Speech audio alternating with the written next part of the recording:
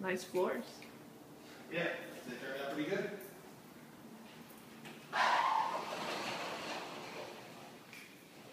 Yeah, I'm going to be painting the door jambs and the doors and stuff.